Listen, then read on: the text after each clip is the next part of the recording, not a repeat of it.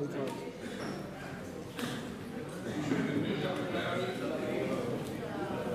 אפשר.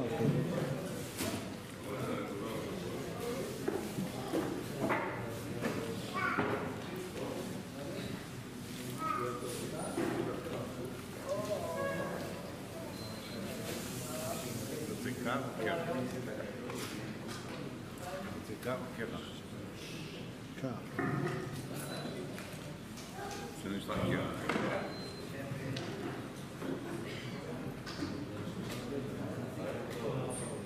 בבקשה, רבנו.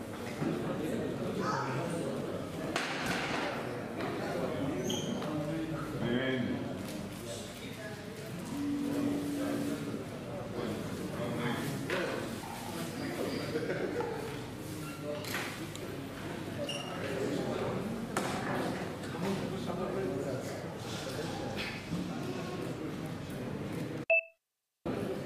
פרשת השבוע שנקרא בעזרת השם שבת זו, פרשת לך לך, מהתשפ"ג.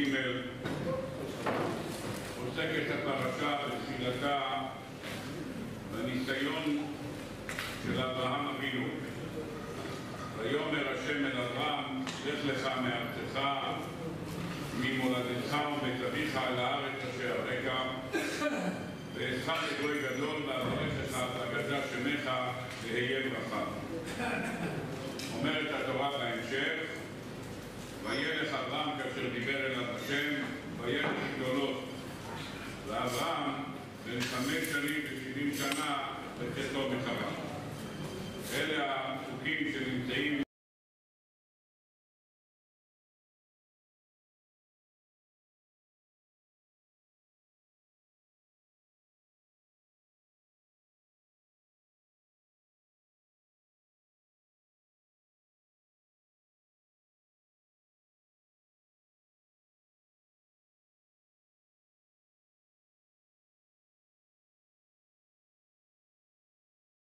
מהם עשרת הניסיונות, אבל שם רבותינו, הן הרמב"ם והן רבנו יונה, רש"י, רבנו עובדיה מברטנורה, כל אחד ואחד מהמפרשים מנסה לבאר מהם עשרת הניסיונות.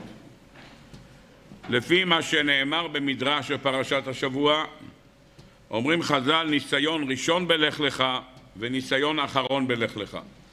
חז"ל הקדושים במדרש רבה וגם בילקוט שמעוני אומרים חז"ל הניסיון הראשון היה בלך לך מארצך והניסיון האחרון זה לך לך אל ארץ המוריה אז כאן חז"ל פותחים את הניסיון הראשון בלך לך מארצך זה הניסיון הראשון לדעת רש"י הניסיון הראשון היה שנמרוד רצה להרוג אותו והוא התחבא, אברהם אבינו התחבא במשך י"ג שנים. הניסיון השני זה הניסיון של אור כסדים. הניסיון השלישי הוא לך לך, כך נאמר בדברי רש"י. לדעת רבנו יונה, הניסיון הראשון הוא אור כסדים. אברהם אבינו נזרק לאור כסדים, זה היה הניסיון הראשון. הניסיון השני הוא לך לך. לדעת הרמב"ם, הניסיון הראשון הוא הניסיון של לך לך מארצך. זה הניסיון הראשון. למה הרמב"ם לא מונה את הניסיון של אור כסדים? כי מדעת הרמב"ם ככל הנראה ניסיון הוא כשהקדוש ברוך הוא אומר לו. אם אברהם אבינו התווכח עם נמרוד ושזה זרקו אותו לאור כסדים, זה לא ניסיון, רק מה שהקדוש ברוך הוא אומר לו. טוב, כמובן שגם על זה יש חולקים, אני לא נכנס לכל הדעות וכל השיטות בזה, אבל שנדע שהניסיון הראשון בלך לך, מה שנאמר במדרש, לא כולם מקבלים את זה. לשני רבותיי, שניים מרבותינו הראשונים, קדמו לכך שניים, שני ניסיונות קודמים. יש לנו גם הניסיון של אור כסדים וגם ניסיון של בריחתו של אברהם אבינו והסתתרותו. אנחנו בעזרת השם רוצים לעמוד על כמה וכמה שאלות לפני שנגיע בעזרת השם לביאור הניסיון הזה של לך לך. כל אחד שואל את עצמו למה התורה כותבת את ניסיון ההליכה בכפל, לך לך. מה תגידו לי? הסיבה שהתורה כותבת לך לך, כמו שרש"י מבאר, לך לך להנאתך ולטובתך. יש לנו אותו רש"י שכתוב שלח לך אנשים, שם רש"י לא אומר להנאתך או לטובתך, שם רש"י אומר לדעתך, אני לא מצווה אותך, תלך. כאן רש"י אומר, לך לך להנאתך ולטובתך, זה מה שרש"י כותב כאן. למה? אומר רש"י, כאן אי אתה זוכה לבנים, שם תזכה לבנים. כאן אי אתה זוכה לממון, שם תזכה לממון. כאן אי אתה זוכה לפרסום, שם תזכה לפרסום. למה אתה צריך לומר את זה במילה לך לך? אתה יכול להגיד את אותו דבר בלי לך לך. התורה במפורש כותבת אחר כך, ואעשך לגוי גדול, ואברכך, ואגדלה שמך, ויהיה ברכה. למה צריך לומר את זה בלך לך? תאמר את זה אחר כך, ויאמר השם אל אברהם, לך מארצך, ממולדתך ומבית לארץ אשר ריקה. מה התוצאה? ואעשך לגוי גדול, ואברכך, ואגדלה שמך, ויהיה ברכה. זה כתוב בהמשך, אז השכר של זה. למה זה נכנס בגופו של לך לך? וכלשונו של הכתב סופר, מעולם לא מצינו שבעוד הציווי נמצא, אנחנו כבר מביאים את השכר של הציווי. תגיד קודם, לך מארצך, והשכר הוא ואברכך, ואגדלה שמך, ויהיה ברכה, כמו שכתוב, שהדרך ממעטת את הבנים, וממעטת את הפרסום, וממעטת את הממון. אז בעזרת השם, מזה הקדוש ברוך הוא מבטיח לו שהוא יקבל בחזרה. אבל מה, עוד לא התחילו, וכבר אומרים לך לך, מה זה המילה לך לך? לך לך להנאתך ולטובתך. למה לכתוב את ההנאה והטובה עוד לפני שאתה מצווה? קודם תגיד לו לך. מה השכר? השכר, אצלך לגוי גדול, אברכך, גדלה שמך, ויהיה ברכה. זו שאלה שרבים מהמפרשים שואלים. שאלה נוספת היא השאלה הידועה, התורה פותחת ויאמר השם אל אברהם, לך לך. אמירה זה לשון רכה.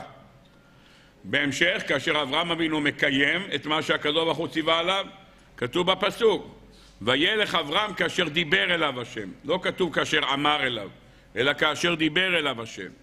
בעל הטורים, ששואל למה הפסוק פותח ב"ויאמר השם אל אברהם" ולא כמו שכתוב בסוף, וידבר אלוק... ויעש אברהם כאשר דיבר אליו השם, צריך לומר, וידבר אלוקים אל אברהם, ויאמר לו לך לך. אומר בעל הטורים, לא, הוא פתח באמירה, אתה יודע למה? כי אברהם אבינו בזכותו נברא העולם, כמו שנאמר, אלה תולדות השמיים והארץ בהי ברם, אל תקרי בהי ברם, אלא באברהם. בזכותו של אברהם אבינו נברא העולם, והעולם כידוע לכולם נברא בעשרה מאמרות, כמו שאומרת לנו המשנה באבות, והיות והעולם נברא בעשרה מאמרות, ואברהם אבינו הוא הטריגר לבריאת העולם, אז ויאמר השם אל אברהם, לך לך. האמירה הזאת היא בעצם תחילת בריאת העולם. עשרה ניסיונות של אברהם אבינו מכוונים כנגד עשרת המאמרות, אז זה מילא, מובן טוב מאוד למה הוא השתמש בנוסח הזה. אבל השאלה, פתח ב"ויאמר" ומסיים בדיבור. איך זה יכול להיות? הוא פותח ויאמר השם אל אברהם, ומסיים וילך אברהם כאשר דיבר אליו השם. שאלה נוספת שכל אחד שואל את עצמו, כאשר התורה כותבת ויאמר השם אל אברהם לך לך מארצך וממולדתך ומבית אביך כאשר אדם יוצא מביתו אז היציאה מביתו קודם כל הוא יוצא מהבית שלו לאחר מכן הוא עוזב את העיר שלו ולאחר מכן הוא עוזב את הארץ שלו. זה הסדר. וכאן התורה כותבת ההפוך לך לך מארצך, תצא מהארץ ואחרי זה תצא מהעיר ואחרי זה תצא מבית אבא. שואל אור החיים הקדוש ועוד זה לא הסדר הנכון, כאשר אתה יוצא בדרך, קודם כל אתה עוזב את הבית שלך, אתה נועל את הדלת, אחרי זה אתה עוזב את העיר שלך, ולאחר שאתה מפליג בספינה או עולה על מטוס, אתה, אתה עוזב את הארץ שלך. זה הסדר. למה התורה כאן הפכה את הסדר? זו שאלה נוספת שמאירים כאן בסייעתא דשמיא. שאלה נוספת שהייתי רוצה להעלות, יש הרבה שאלות, אבל נראה כמה אנחנו יכולים למקסם את הדברים בצמצום. רבותיי, למי שיודע, כשבן אדם עובר ניסיון, חז"ל הקדושים אומרים, ניסיון אחר ניסיון, גידולים אחר גידולים. נס זה אתה מרים אותו, כמו שאתה אומר, הוא נוסע, הוא נוסע נס. נס הכוונה להרים אותו גבוה יותר. כשאתה רוצה להרים בן אדם, אם ניקח את זה לדימוי, אתה רוצה לאמן בן אדם בקפיצה לגובה, אז אם הוא קופץ במטר ועשרה, אין לך שום עניין להוריד את זה למטר וחמישה, נכון? הוא הוכיח שבמטר ועשרה הוא כבר עומד, אז מה אתה עושה? אתה מרים את החוט, נכון? אתה מרים את החוט למה? למטר חמש עשרה או למטר עשרים ואז אם הוא עובר מטר עשרים אז מה? אז מרימים לו את זה למטר שלושים ואחר כך למטר ארבעים וברוך השם, ככל שהוא עולה יותר, הוא אומר וואו, ברוך השם בכושר טוב יותר העולה כבר למטר שישים ומטר שבעים אין עניין להוריד את הרף כבר, הרם, הוא כבר קפץ מטר ועשרה אז מעלים את זה עכשיו למטר עשרים אם ככה נשאלת השאלה, ורבים מעירים את ההערה הזאת, לאלה שסוברים שהניסיון הראשון היה אור כשדים, כמו שהבאנו, שיטתו של רבי יונה, שאומר שהניסיון הראשון היה אור כשדים, לשיטת רש"י, שזה הניסיון השני אור כשדים ורק לאחר מכן לך לך. אתה שואל את עצמך שאלה, אם בן אדם מוכן לקפוץ מקומה 20 למטה, יש לך ספק שיהיה מוכן לרדת במדרגות? איפה אתה שם אחד מול השני? עומד אברהם אבינו, זורקים אותו לתוך, לתוך אורגזים. הוא אומר אין שום בעיה, הוא מנהל ויכוח עם נמרוד ומוכן להימסר על קידוש השם. אם אדם מוכן להימסר על קידוש השם, שיזרקו אותו לתוך אור הסיכוי שלו לצאת מאור הוא סיכוי קלוש מאוד, אלמלא שהקדוש ברוך הוא ירד וצינן את האש, כמו שהגמרא מביאה בהרחבה. אז הקדוש ברוך הוא עשה את הפעולה הזאת, וצינן את האש. אדם שמוכן למסור את הנפש שלו, מוכן למות על קידוש השם, מוכן שיהרגו אותו, ימיתו אותו על קידוש השם, יש לך ספק שהאדם הזה יהיה מוכן ללכת, ללכת מחוץ, מחוץ לביתו? הוא כבר היה מוכן לאבד מן העולם. אז מה זה כאן? אתה לא מאבד לך מן העולם. אני בסך הכל מצווה אותך ללכת לארץ אחרת, ובוודאי שהוא מקבל ללכת לארץ אחרת כאשר הוא מקבל שכר כה גדול, שהקדוש ברוך הוא מבטיח לו גם בנים וגם פרסום וגם ממון. על כל אחת מהסיבות האלה בנפרד, אנשים עוזבים את מקומות מגוריהם והולכים לגור במקום אחר. יש אנשים שבשביל טיפת כבוד ייסעו למדינה אחרת ויחיו בחיי צמצום, העיקר שייתנו להם כבוד. יש אנשים שבשביל פרנסה ודאי יעקרו את מקום מושבם וילכו לגור במקום אחר בשביל פרנסה, גם בארץ וגם בחוץ לארץ. בשביל בנים, אדם מוכן לנסוע עד אחרי האוקיינוס ימינה, לנסוע ולגור שם אם הוא שומע על איזה רופא שיכול להביא לו ישע ומזור לזכות לבנים, הוא ודאי יהיה מוכן ללכת לכל מקום בעולם. אם ככה, השאלה שעולה, אם אברהם אבינו שומע כאלה הבטחות, אז מה הניסיון כאן? ממה נשך? שאלה מספר אחת. אם הניסיון הראשון היה אור כסדים, אז הניסיון שלך לך מארצך הוא בכלל לא ניסיון, הוא כלום לא. למה כלום? כי ודאי, אם אתה מוכן למסור את הנפש על קידוש השם, אז מה יש לך כבר ללכת ולך לך מארצך? ודבר נוסף, אם כבר הגעת לרף הזה, שאתה כבר נמצא במטר ועשרה, עכשיו צריך להרים אותו. יוצא על פי זה, שאם אתה הולך באמת בסדר הזה, שהניסיון הראשון היה אור כסדים, והניסיון הבא הוא לך לך, סימן שהניסיון של לך הוא יותר גבוה מאור כסדים. כי אם אתה אומר לי שאור כסדים הוא הניסיון הראשון, והניסיון הבא הוא הלך לך, אז ודאי שהניסיון של לך יותר גבוה. בוודאי שמאחרי הניסיון שלך לך, יש לך ניסיון יותר גבוה שנקרא מה? ויהי רעב בארץ. והניסיון היותר גבוה שלוקחים את שרה לבית פרעה. כל שלב כזה זה עלייה בדרגה של הניסיונות. פירוש דבר, אם אתה אומר לי שאברהם אבינו הסכים למסור את הנפש על קידוש השם, זאת אומרת שהוא כבר הגיע לגרף שהוא מוכן למה שנקרא לאבד את עצמו למען הקדוש ברוך הוא. יש לו ויכוח עם נמרוד, הוא אומר אני מוכן למות למען המטרה הזאת. מוכן למות למען המטרה הזאת, איפה אתה שם על כף המאזניים את זה מול מה? אתה שם את זה מול לך לך מארצך? איפה העלייה בדרגה שיש כאן? ואם אתה רואה שחז"ל ממקמים את לך לך אחרי ניסיון של אור כסדים, סימן שמבחינת חז"ל הניסיון של איך לך הוא יותר גבוה מהניסיון של אור כסדים.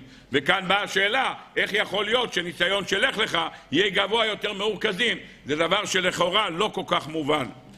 כדי להבין את הדברים, הייתי רק רוצה לעמוד על עוד שאלה אחת, ושאלה מתבקשת ונרחיב בה בעזרת השם בהמשך. אם הניסיון הוא כל כך קשה, והניסיון אתה משדרג אותו בכזו רמה, כל אחד שואל את עצמו שאלה מאוד פשוטה, כתוב בתורה, וגם לילות ההולך את אברהם, כתוב, ויקח אברהם את שרה אשתו ואת לוט בן אחיו. אם אתה אומר שזה ניסיון כל כך קשה, שלך לך מארצך וממולדתך, בית אביך לארץ אשר הרקע, אתה רואה שלוט הלך איתו, לא מצאנו שיש כאן איזשהו אירוע היסטורי שלוט, מה שנקרא, הצטרף איתו ביחד, אתה אומר, אל תשאל, לא תתרומם בניסיונות אחר ניסיונות והגיע עד לפסגות רוחניות של אברהם אבינו. לא, וילך איתו לוט, ולא מצאנו אצלו התעלות, איך שואל רב לב חסמן, אדם שצמוד לאברהם אבינו אחר כך הולך לגור בסדום? אם אתה אומר שאברהם אבינו מתעלה עלייה אחר עלייה מאור כסדים עבר לאיפה? ללך לך. מלך לך עבר, ויהי רעב בארץ. מרעב בארץ הוא מגיע לבית פרעה. גם לוט הולך איתו ביחד את הניסיונות. חוץ מאור כסדים, גם לא סבל מאור כסדים. למה לא סבל מאור כסדים? אבא שלו מת באור. אברהם אבינו יצא, ולוט לא חזר. לוט, אה, איך קוראים לו? הרן לא חזר. הרן לא חזר, השיל ילד יתום. אז לא היה קופת העיר שתחזיק אותו. הוא חזר משם, אבא שלו מת, נשאר ילד קטן, ונשאר לבד. הפגוע העיקרי מאור כסדים זה לא אברהם אבינו, זה דווקא לוט. אז לכאורה אם הוא השתקם בביתו של אברהם אבינו, עלה בדרגה, אתה חוזר אחר כך לניסיון הבא שלך לך, אם אברהם אבינו מתעלה, כמו שחז"ל אומרים, ניסיון אחר ניסיון, גידולים אחר גידולים, היית צריך לראות שגם ללוט הוא עולה איתו במדרגה ביחד. שואל רב למלאך חסמן, הוא הולך איתו ביחד, ומה אתה רואה? שברגע הראשון שיש היפרדות, הוא הולך לסדום לא פחות ולא יותר, וחז"ל אומרים לא לחינם הלך לו הזרזיר אצל הערב, והלך למקום שכולו משקה, אומרים חז"ל שהלך לשם כי הכל פרוץ באריות, לכן הוא חזר לשם. אם ככה נשאלת השאלה, לא אתה הולך את אברהם? לא מצאנו שיתרומם מהניסיון הזה. אם ככה, מה זה הניסיון הזה של לך לך? מה מונח כאן? נתחיל בעזרת השם ונלמד שלב אחרי שלב, נגיע לאיזושהי נקודה נפלאה ביותר ואולי בסיומם של דברים גם ניתן איזשהו רעיון מסביב לבחירות. בואו נראה בעזרת השם מה מונח כאן בכל היסוד הזה. כדי להבין את הדברים, בואו נלמד, דבר ראשון, תשובה מפורסמת מאוד, שמביאים הרבה מפרשים והולכים בקו אחד, שהניסיון הזה של לך לך, הקדוש ברוך הוא בכוונה הכניס לו את השכר בתוך הניסיון עצמו. לך לך מארצך ומעודדך מבית אביך, אומר רש"י, לך להנאתך. רש"י יכל להגיד משהו אחר. התורה כותבת לך לך, אומר רש"י, לטובתך ולהנאתך. תזכה לבנים, תזכה לפרסום, תזכה לפרנסה, תזכה להכל. בתוך הניסיון עצמו מכניסים לו את השכר. למה? אומרים המפרשים כולם שהמטרה היא אחת. הקדוש ברוך הוא רצה לבחון אותו, למה הוא הולך. מה זאת אומרת? ניקח דוגמה מחיי המעשה שלנו. יש לנו ילדים, ברוך השם, לאורך ימים טובים ושנים. אתה קם בבוקר, אתה רואה שאין לחם בבית. אין לחם, אין חלב. אתה רוצה לשלוח את הילד. הילד אומר, אמא, מה, אתמול הלכתי, שלשום הלכתי, שלשול שלשום הלכתי. למה אני? תשלחי את ינקי. למה אני? תשלחי את דודי. כל אחד, ברוך השם, רוצה להוריד אחריות, כבר הלכתי שלוש פעמים, תני לי עוד לישון עוד עשר דקות. מותק, אין לחם בבית, צריך לתת ארוחה לילדים, כל ילד צריך לקחת, אין להם, מה לעשות? אתה מבטיח, אתה רואה שהילד מתעקש לא ללכת, מה אתה עושה? אתה מצ'פר אותו, לא? תלך, תקנה לך קרמבו, נכון? תלך, תיקח לך קרמבו, תקנה בבקשה, אני יודע מה, תקנה סוכריה על מקל. אתה מתגמל אותו, או אתה נותן לו שקט, תבחר לך מה שאתה רוצה. יפה מאוד. למה הוא הלך? הוא הלך בגלל שהוא קיבל סוכריה מקל, או הלך כיוון שיש שם כיבוד אם? למה הוא הלך? אמא שלו אמרה לו ללכת, למה הוא הלך? כל אחד מבין שהוא לא הלך כיוון שהוא פתאום נזכר שיש כבד את אביך ואת אמך. זה היה עוד לפני המקל. אז למה הוא הלך? כי בסוף יש מה שנקרא, צמוד לזה שכר, יש שובר או בצידו, אתה מקבל איזה בונוס בסיום, אז בשביל זה הוא הלך. אה, כיבוד אב? בסדר, כיבוד אב האם נחמד מאוד, אבל הוא אומר, גם דודי יש לו מצוות כיבוד אב ואם, נכון? אז הוא לא מוכן לקחת עצמו את הכיבוד אב ואם. למה הוא הולך? כי הוא מקבל צ'ופר, יפה מאוד, זו המטרה.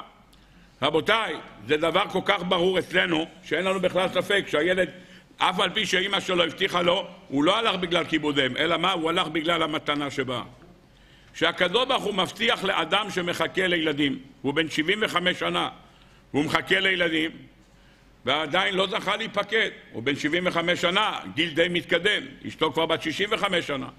והקדוש ברוך הוא אומר לו, לך לך מארצך ומולדתך מבית אביך אל הארץ אשר הרקע, תלך לשם, ושם תזכה לבנים.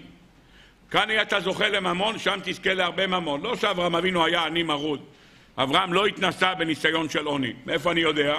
כשהוא עבר את מעבר הגבול ביחד עם שרה אמנו בקופסה, הוא אמר להם שהוא מוכן, מוכן לשלם כמה כסף שעולה, איזה מיסים שהם רוצים, איזה תקרת מיסים שהם רוצים הוא מוכן לשלם.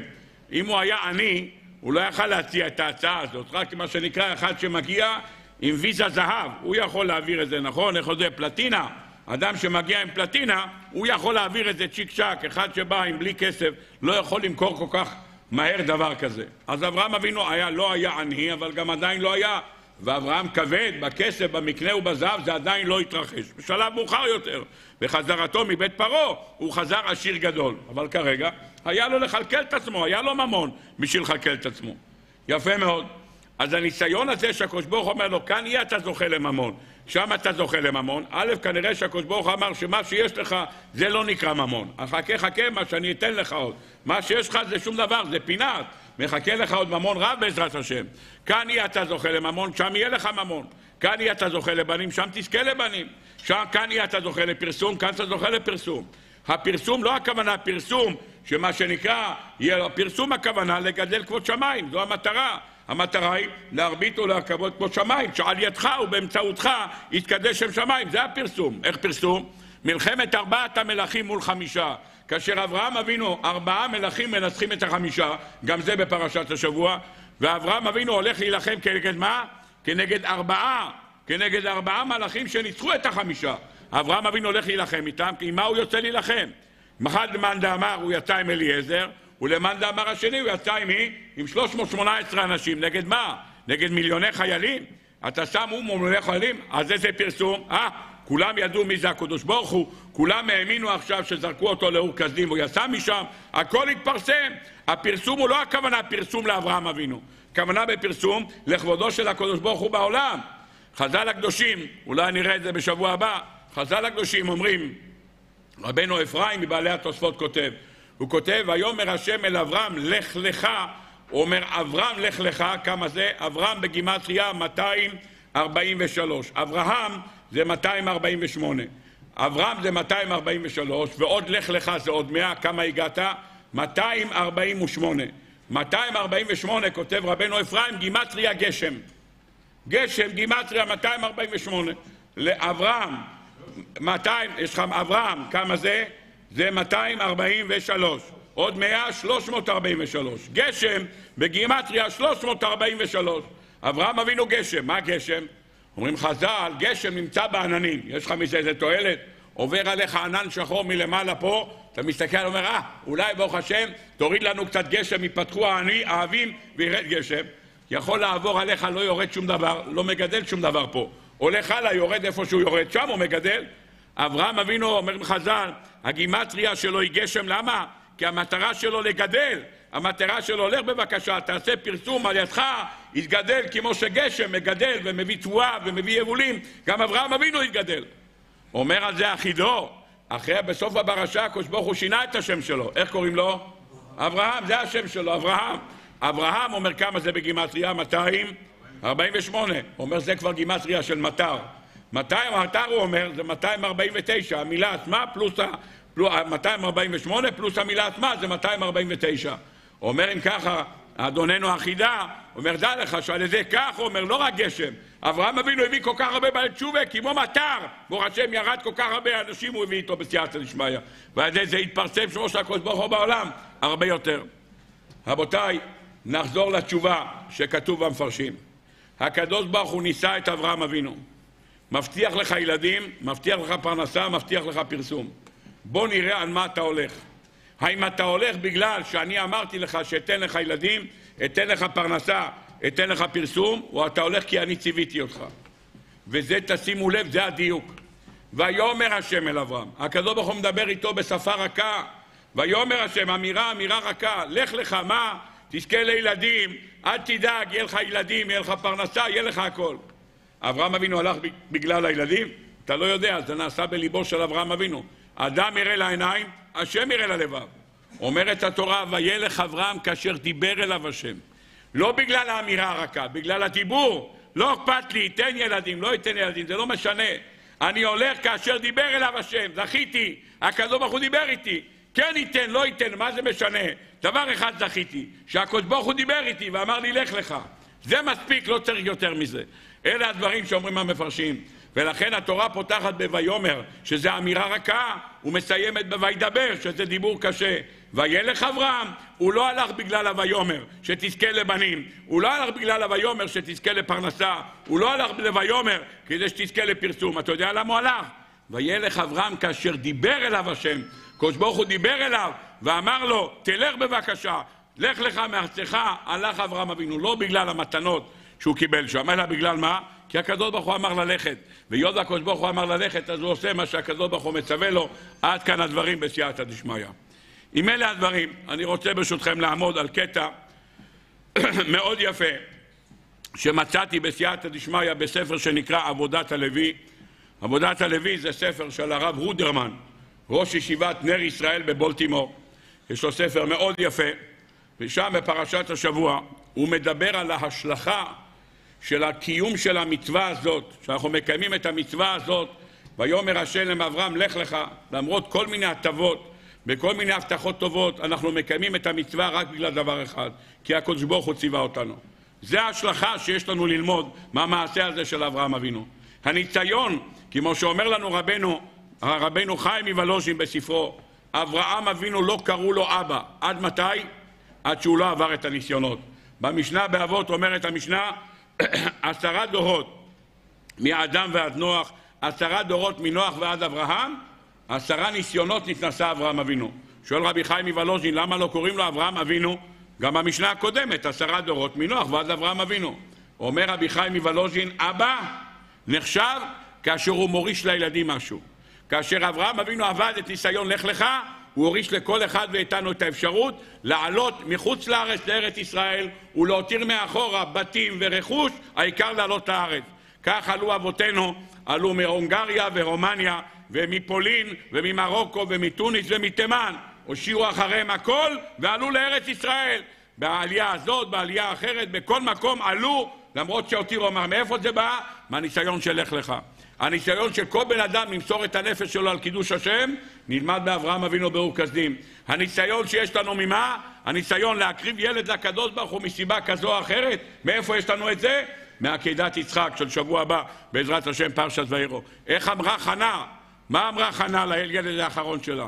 לך אצל אברהם אבינו ואמור לו, אתה עקדת מזבח אחד, אני עקדתי שבעה מזבחות. מה זה, מה שאל הרב שך זצ"ל? מה זה תחרות? אתה אחד, אני שבע, מה זה שבע אחד לטובת חנה? אומר לא, לך תגיד לאברהם. בכוח הזה שאתה עקדת אחד, נתת לי כוח להכות שבע. הסיום של שניהם זה אותו דבר. אתה, יצחק אבינו, אברהם אבינו, באחד לא נשאר לך ילדים, ואני בשבע לא נשאר ילדים. התוצאה הסופית אצל שנינו זה אותו דבר.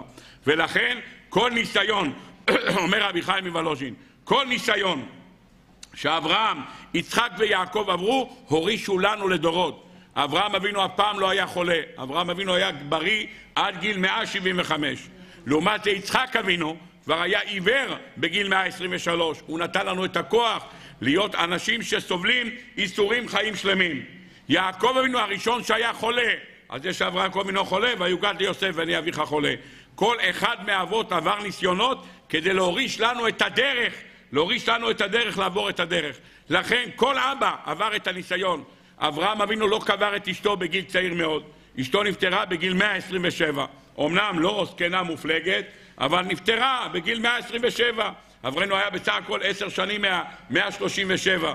הוא עוד המשיך לחיות אחרי זה כמעט 40, 40 שנה, הוא חי אחרי זה. נו, לעומת זה יעקב אבינו קבר את שתי נשותיו, אחת הייתה בת 36 והשנייה כעבור כמה שנים, בגיל 42. מה זה? איזה ניסיונות? מה שאברהם אבינו לא עבר, עבר, עבר יעקב אבינו. כל האפשרויות של ניסיונות שאפשר להיות, רחמנא ליצלן, ילד יורד מהדרך, עבר גם אברהם אבינו וגם יצחק אבינו. כל אחד מהם עבר איזשהו, איזשהו ניסיון. למה? כדי לתת לנו כוחות להתמודד. הם שמו לנו בוורידים, בתוך הוורידים שלנו, מונחים אברהם, יצחק ויעקב, כל אחד והניסיונות שלו. אם ככה רבותיי, אברהם אבינו הנחיל לנו הנחלה. מה זה הניסיון שלך לך? אל תלך בגלל הפרסים, אל תלך בגלל השכר. למה תלך? כאשר דיבר אלו השם. תלך כי הקדוש ברוך הוא אמר לך ללכת. אל תחפש את הקופון שנמצא בצד. תלך כי הקדוש ברוך הוא אמר לך. אומר הספר אבוידס הלוי לרב רודרמן, רעיון מאוד יפה.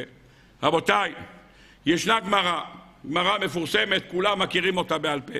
אומרת הגמרא, בפסוק בנביא ישעיהו בפרק נ"ח אומר הנביא וקראת לשבת עונג לקדוש השם מכובד יפה מאוד עכשיו אמרתי לכם שכולם מכירים את הפסוק וקראת לשבת עונג מה זה עונג? למה אתה קורא לשבת עונג? במה מענג אותו? במה מענג אותו? במה? מאכלים, יופי, ברוך השם. אז מה אתם עושים כשאתם אוכלים? מה אתם אומרים? לכבוד?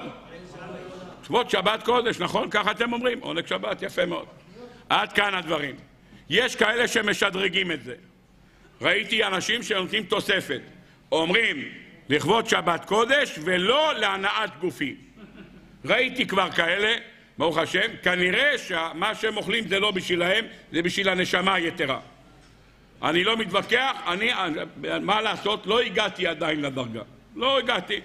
אני לא יודע אם אני גם עובד על זה. בכל אופן, לא הגעתי לדרגה לאכול ולומר, הרי אני אוכל לשם קדושת שבת ולא לנעת גופי. אבל מה? פעם אחת ישבתי ליד מישהו שיאריך השם ימיו בטוב ושנותיו בנעימים, וכל מה שהוא הכניס לפה אמר לעונג שבת, לכבוד שבת קודש ולא להנעת גופי. בן פורת יוסף, הסתכלתי כמה לא להנעת גופו יש לו. ברוך השם. כשנגמר לו הכבד, הוא ביקש שיביא לו עוד קצת, ברוך השם. היה שם צלחת, הבאתי לו, אמר, לא להנעת גופך, בבקשה. נגמר לו הכבד, הוא ביקש פרגיות, לא להנעת גופו. בן פורת יוסף חצי שואב אבק. יצא לו לא נעת גופו, אמרתי, וואחד נשמה יתרה יש בו, בן פורת יוסף. נו, אומרת הגמרא, וקראת לשבת עונג, לקדוש השם מכובד, ברוך השם. אומרת הגמרא, אוכלים לכבוד שבת, יפה מאוד. מה פירוש הדבר לקדוש השם מכובד? מה זה? זה כבר לא כולם מכירים. אומרת הגמרא, שבס קי"ט, זה הכוונה ליום כיפור. שמה עושים ביום כיפור? וקראת לשבת עונג זה שבת, ולקדוש השם מכובד. שואלת הגמרא, זה יום כיפר, במה מכבדו? במה מכבדו? אין אוכל. אין אוכל ביום כיפור, אז במה מכבדו? כסות נקייה. אתה מביא לו חליפה, מה שהאשכנזים לובשים קיטל, יש להם כזה בגד לבן, יפה מאוד, זה מכבדו, אתה בא לבן, למרות שזה רק, זה לא כזה, זה, תכריכים הרי, זה הרי יזכיר לא יממיסה, זה לא, זה מלבישים ככה את המתים בדבר הזה, זה לא איזה לדיליקטס, אתם חושבים איזה, זה בגד שמזכיר לך את יום המיטה כדי שתחזור בתשובה, טוב, נפלא ביותר. לנו חז"ל, למה אתה לובק כסות נקייה? לכבוד יום כיפור. שואל הרב רודרמן בספר שלו, תגיד, לא מצאו לנו איפה להצמיד את שניהם? עונג שבת, בן פורת יוסף, עונג שבת, מה זאת אומרת, כל יום שישי מהבוקר אתה כבר מקיים תואמיה כדי שהעונג שבת יהיה מסודר כמו שצריך, בן פורת יוסף, אתה אוכל עוד קצת עונג שבת ועוד קצת תואמיה, לדעת אם צריך להוסיף קצת יותר פלפל, זאת אומרת, מתחיל להיות כבר, בוא תראה אותם, אתה מתחיל ברוך השם, מ-11 בבוקר אתה מרים כל רגע סיר השירים אשר לשלמה, ברוך השם, אתה כל רגע מרים איזה סיר כדי לראות שהכל בסדר גמור, יפה מאוד. שואל הספר הרב רודרמן ושואל שאלה, תגיד, איך נכנסים שניהם ביחד? מצוות עונג שבת עם כסות, כסות נקייה ליום כיפור. אומר הרב רודרמן דובר נוירו, אתה יודע למה דורשים את זה מאותו פסוק? ביום כיפור אין לך הנאה מכלום, נכון? כלום. אתה לא אוכל, ולא שותה, ולא מתקלח, ולא לובש נעליים, כלום. מה אתה, יש לך שום דבר? הדבר היחידי? כסות נקייה. כסות נקייה זה ודאי רק לשם שמיים, נכון? מה יש לך ללבוש את הכיתלה? זה רק לשם שמיים. אומרים לנו חז"ל, וקראת לשבת עונג, כמו שביום כיפור אין לך שום הנאה, רק ממה? מהכסות הנקייה. שאתה אוכל בשבת, כל ההנאה שלך תהיה רק למען דבר אחד, לכבוד הקדוש ברוך הוא. אתה אוכל בשבת, שתהיה לך הנאה לכבודו של הקדוש ברוך הוא. רבותיי, איך אני יכול לאכול לכבודו של הקדוש ברוך הוא? אני רוצה לאכול. מה התשובה? כמו אברהם אבינו. מה עשה אברהם אבינו? ויאמר השם אל אברהם, לך לך מארצך, מולדתך, מבית אביך, אל הארץ. תתן לך פרנסה ילדים. וילך אברהם, למה הוא הלך? כאשר דיבר אליו השם. הקדוש ברוך הוא דיבר אליו. מה שהוא אמר לו, מה שהוא אמר לו, זה מה שהוא עשה, לא בגלל השכר. אני אוכל בשבת, למה? בגלל דבר אחד, כי הקדוש ברוך הוא אמר לאכול בשבת. אה, לא מתחשק לי, לא, לא רוצה לבשר את עצמי. יש הרבה אנשים שכל השבוע בכלל לא תואמים כאלה מאכלים. אוכלים מה שנקרא מינימום שבת, אתה רואה אותם מה שנקרא עם כל הברן. למה? לכבודה של שבת. כך צריכה להיות המבט שלנו. למה? כי אברהם אבינו לימד אותנו מושג של לך לך למען מטרה אחת, כאשר דיבר אלוהים השם. ושם הוא מביא עוד גמרא אחת. הגמרא הבאה נמצאת במסכת בבא בתרא, בדף י'. אומר רבי יוחנן בן זכאי לתלמידו. מהי דכתיב? כתוב בפסוק: צדקה תרומם גוי וחסד לאומים חטאת. מה פירוש הדבר? צדקה תרומם גוי וחסד לאומים חטאת. נענה רבי אליעזר ואמר צדקה תרומם גוי אלו ישראל וחסד לאומים חטאת כל צדקה וחסד שאומות העולם עושים חטאו להם. למה? שאינם עושים אלא להתגדל בו. כל מה שהם עושים זה רק בשביל לגדל בו. נותנים צדקה בשביל הפרסום. נתתי, עשיתי, פרסמתי, שום דבר לא. כל מה שהם עושים מהפרסום. או דאוהב ידחי, לא צדקה גמוראי. אחד שעושה דברים בשביל להתפרסם, להתגדל, זה לא צדקה גמורה. שואלת הגמרא, מה פתאום? והתניא, אומרים חז"ל, האומר סלע זה בשביל צדקה, כדי שיחיה בני, ובשביל שאזכה לחיי העולם הבא. אומרת הגמרא, הרי זה צדיק גמור. אז מה אתה אומר לי? הנה, הוא עשה את זה בשביל מה? שהבן שלי יחיה, כדי שיזכה לחיי העולם הבא. אז למה אתה אומר לי שרק אומות העולם עושים את זה כדי להתגדל? הנה, גם היהודי עושה את זה. בשביל מה הוא עושה את זה? כדי שיחיה בלי, יש לו מזה מטרה, יש לו מזה מטרה, או שהבן שלו יחיה, או שיהיה לו עולם הבא. למה אתה אומר שזה לא עובד בצורה הזאת? אומרת הגמרא, לא קשיא, כאן בישראל, כאן בעובד עובד עובדי כוכבים. מה פירוש הדבר? אומר רש"י, ישראל דעתן למעלה שמיים. בין יחיה, בין לא יחיה. אינו מערער אחר מידת הדין. אבל עכו"ם אינו נותן אלא על מנת כן, ואם לאו הוא מתחרט. גוי נתן לך מיליון דולר להקים מגרש טניס, הרי מה יש להם לגוי לעשות? מה יש להם לעשות? שום דבר, לחוות מה שנקרא, אחד חובט בשני, מה יש לעשות? בסדר, כדורגל, מה יש להם לעשות? אם אתה הוא נותן לך מיליון דולר לכדורגל ואתה לא כותב על זה את הכדורגל על שמו, מה אומר לך אדוני? תביא הכסף בחזרה, תביא מהר הכסף בחזרה, תביא. נתתי לך בשביל שתכתוב את השם שלי, מה אתה כותב לי שמה? כדורגל? תכתוב את השם שלי, אם לא, תביא הכסף. ישראל נתן לך כסף, ברוך השם, נתן לך כסף, אומר אדוני, על מנת שיחיה בני. בסוף הבן שלו לא חי, מה לעשות? מה, הוא מבקש את הכסף בחזרה? מה פתאום? קח את הכסף, רק תרשום שזה לעילוי נשמת הבן שלי. הוא לא מבקש את הכסף בחזרה, למה? כי התשובה היא שהפרסום לא מעניין אותו, הפרסום הצדקה מעניינת אותו, הוא לא מבקש את זה חזרה. אומר הרב רודרמן בספר שלו, מאיפה לקחנו את התכונה הזאת? נתנו כסף למטרה הזאת, המטרה לא הושגה, תחזיר הכסף, אין את זה אצל יהודי. למה? ויאמר השם אל אברהם, לך לך, אתן לך ילדים, אתן לך פרנסה, אתן לך פרסום. נו, לכאורה, אברהם בהתחלה לא קיבל לא פרסום ולא ילדים ולא שום דבר. כמה זמן עד שהגיע לאברהם אבינו ילדים? בגיל 75 הוא קיבל את ההבטחה. כמה שנים זה לקח? 25 שנה זה לקח. עד שאברהם אבינו זכה לבן משרה אימנו. 25 שנה! אברהם אבינו זכה לפרסום? כמה זמן לקח עד שאברהם קיבל פרסום? כמה זמן לקח עד שהוא קיבל ממון? אברהם אבינו אמר, ריבונו של עולם, הבטחת לי ולא קיימת? לא. מה שאמרת אני עושה, זה התכונה. אנחנו לא מחכים לקבל. אומרים חז"ל, גם אם אברהם אבינו לא היה מקבל כלום, לא בנים ולא פרנסה ולא פרסום, הוא היה ממשיך לדבוק בקדוש ברוך הוא. למה? וילך אברהם כאשר דיבר אלו בשם. הקדוש ברוך הוא אמר, אני עושה מה שהקדוש ברוך הוא אמר, לא משנה לי, יצא, לא יצא, זה לא משנה. עצם זה שהקדוש ברוך הוא אמר, זה מספיק. ולכן נאמר כאן שגוי, רק אם הוא מקבל את התמורה למה שהוא הבטיח, שהוא ייתן אותה. יקרא הבניין על שמו טוב, אם לא, אז לא. אדם כזה מבקש את הכסף חזרה. אחד שנותן לו שום מטרה. מה המטרה? כאשר דיבר אלו בשם, הקדוש ברוך הוא אמר לתת צדקה, זה פירוש הדבר. צדוקו תרועים הם גוי אלו ישראל, הצדקה מרוממת אותם. על פי זה הוא מביא דבר נפלא ביותר, הוא הולך בקו אחר, אני רוצה להשתמש באותו רעיון, אבל בכיוון אחר לגמרי.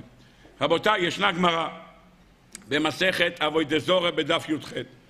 מספרת הגמרא שרבי יוסי בן קיסמא חלה, חלה חולי קשה מאוד, ועמד להסתלק מן העולם. הגיע לבקר אותו רבי חנינא בן תרדיון.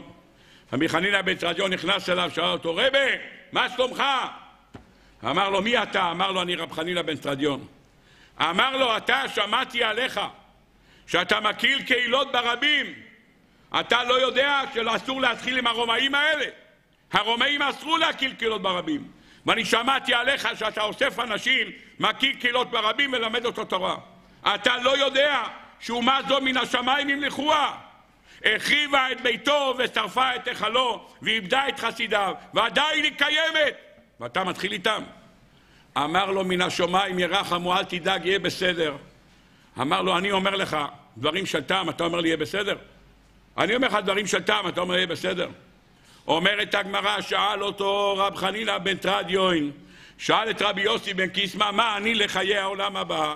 מה יהיה איתי? אני אקבל עולם הבא? אמר לו כלום מעשה בא לידך עשית משהו טוב? אמר לו כן. מעות של צדקה התחלפו לי. ומה? במקום לקחת את הכסף שלה מהמעות של הצדקה, הלכתי ונתתי את הכסף בעצמי. מה קרה? היה לו בכיס מעות שהוא הניח לסעודת פורים. מעות שלו. הוא הלך לקנות לפורים, סעודת פורים, זה סעודה, יש הרבה אנשים. ניגש לכספומט, משך משם אלפיים שקל. בשביל מה? הוא צריך לקנות דג גדול, סלמון אפוי בתנור, לקנות אחד כזה, צריך לקנות כמה יינות טובים, מה שנקרא אדום יבש, ושיוכל להשתכר טוב, ברוך השם לקיים את המצווה הזאת. של עד דלא ידע בין ארור המן לברוך מרדכי. חוץ מזה צריך לקנות בוויז'ניץ חלב בצורה של שטריימל כזה גדול, ברוך השם, שיספיק לכל הסועדים, וזה עולה הרבה כסף, ברוך השם. אז הוא ניגש לכספומט, משך אלפיים שקל. נו, היות ורב חנינא בן טרדיון גם היה גזבר צדקה, היה לו כסף של צדקה. נו, באו עניים, אמרו לו, או, רב חנינא בן טרדיון, קצת כסף לצדקה. במקום לתת להם מהשקית של הצדקה, מאיפה הוא נתן להם? מאלפיים שקל שהוא הוציא מהכספומט כדי לקנות עם זה צורכי החג. נתן לעשרה עניים, כל אחד 200 שקל, טק טק, גמרת 2,000 שקל. פתאום הוא בא לקנות את הדגים, אומר, וואה, איפה הכסף? הלך הכסף, איפה הכסף? הוא אומר, וואלה, נתתי את זה לעניים. מה בן אדם אחר היה עושה? יש לו את הכיס של הצדקה, הוא הוציא 2,000 שקל, נכון? אתה מוציא משם 2,000 שקל, זה שלך, זה כסף של צדקה, אתה יכול למשוך משם את 2,000 שקל ולתת להם, אתה לא חשבת לתת מהכסף של, ה, של סעודת פורים, חשבת לתת להם צדקה, רק התבלבלת בכיס. מה הוא עשה? הוא לא נגע בשקית. הוא אמר, אם הקדוש ברוך הוא סיבב שאני אתן את הכסף הזה, סימן שהקדוש ברוך הוא רוצה שהכסף הזה ילך ממני. ניגש לכספומט, לחץ עוד פעם את הקוד הסודי, משך אלפיים שקל והלך לקנות. אמר לו, ככה עשית? אה, ברוך השם, מחלקך יהיה חלקי, מגורלך גורלי, הלוואי ואני יושב לידך בגן עדן. איזה יופי של דבר. רבותיי, מה עשה המעשה הבומבסטי הזה? אפשר לחשוב מה הוא עשה כאן. מה, במקום לתת אלפיים שקל מהכיס, הלך, מה קרה? מה יש במעשה הזה? בא הרמב"ם בפירוש המשנייס, אומרת הגמרא, הקדוש ברוך הוא רצה לזכות את ישראל, לפיכך הרבה להם תורה ומצוות. הקדוש ברוך הוא רצה לזכות אותנו הרבה. שואלים כולם, מה, רצה לזכות אותנו הרבה? אם היה רוצה לזכות אותנו, מה היה צריך לעשות? להמית! תן לנו שבע מצוות בנוער וגמרנו. להרבה לנו תורה ומצוות. כותב הרמב"ם, אתה יודע למה? כדי לקבל כרטיס כניסה לעולם הבא, צריך לקיים מצווה אחת נקייה שלא יהיה לה שום סרח ועוון. שום סרח של הנעת הגוף ופרסום או משהו, שום דבר. מצווה אחת נקייה, נקייה לגמרי. אומר הרמב"ם, אפשר לחיות 70 שנה ולהוציא מצווה אחת נקייה. למה? מכל מצווה, מה שיש לך, יכולה להיות מחשבה, מחשבה כזאת, מחשבה כזאת. מצווה נקייה, אתם יודעים מה זה? שיחכו. כשאדם שוכח בשדה, זה מצווה נקייה. למה? הוא שכח. האדם שכח, זה נקייה, אין לו שום מחשבה. הוא אומר, שכחתי בשדה. זה לא לקט. מצווה שיחכו, שכחת בשדה, שכחת עומר בשדה, לא תשוב לקחתו. זו מצווה. מופיע בחז"ל מעשה בחסיד אחד, ששכח עומר בשדה, מה הוא עשה? הוא אמר לבן שלו, בוא, עולים לירושלים להקריב קורבן. שכחתי! ברוך השם, בן אדם בדרך כלל זוכר את כל הכספים שלו כל רגע ורגע. ב-18 הוא זוכר למי הוא חייב, למי הוא לא חייב. את כל הדברים הוא יודע, מתי הוא צריך להחזיר, מתי חוזר הצ'ק, מתי נכנס הצ'ק, לא. מסופר על אחד האדמו"רים, שפעם נכנס אליו מישהו, אמר, רבה, אני חייב כסף לפריץ, הוא אומר, מחר אני לא כסף, הוא יזרוק אותי ל... וזה אומר, אל תדאג, הוא לא יזרוק אותך. אומר לה, רבה, אני אומר לך, הוא אתמול את ההוא זרק, אומר, אל תדאג, לא יזרוק אותך. אומר, רבה, מה אתה בטוח כל כך? הוא אומר, הוא לא מתפלל שמונה עשרה. הוא לא זוכר מתי אתה צריך לשלם. הוא אומר, אתה מתפלל, אתה יודע מתי צריך לשלם. הוא לא זוכר. לכן מה, הוא לא מתפלל שמונה עשרה. אתה בשמונה עשרה זוכר הכל. מה יעשה בחוסיד אחד? אומרים חז"ל, מה יעשה בחסיד אחד?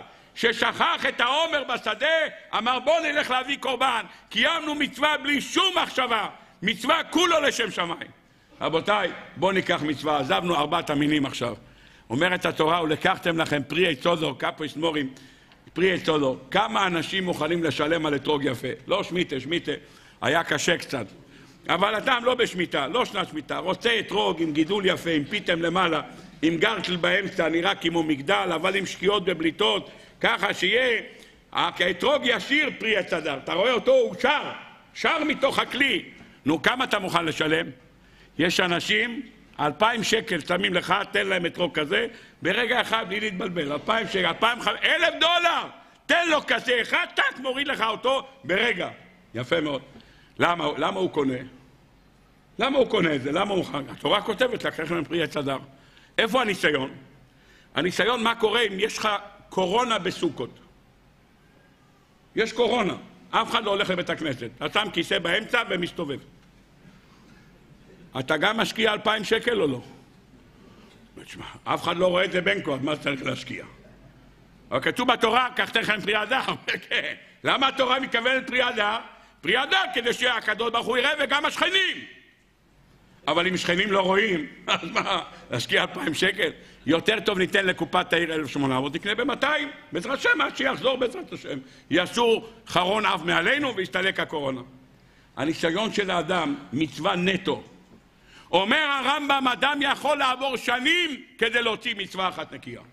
מה זה מצווה אחת נקייה? שאין לו מזה הנאה, הוא עושה את זה כולו לשם שמיים בלי שאף אחד יודע.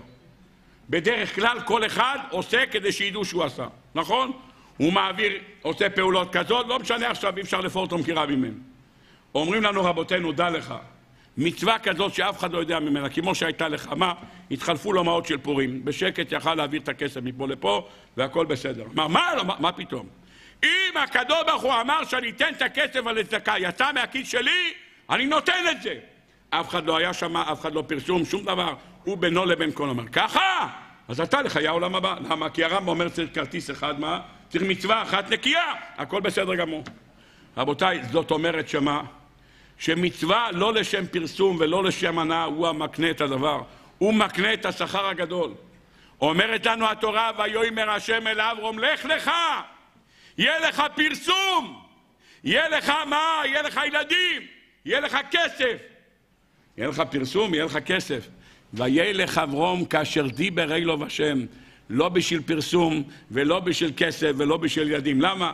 כאשר דיבר אלו השם בלי שום מחשבה, נקי למען הקדוש ברוך הוא, כאשר דיבר אלו השם, שום מחשבה לא הייתה לו.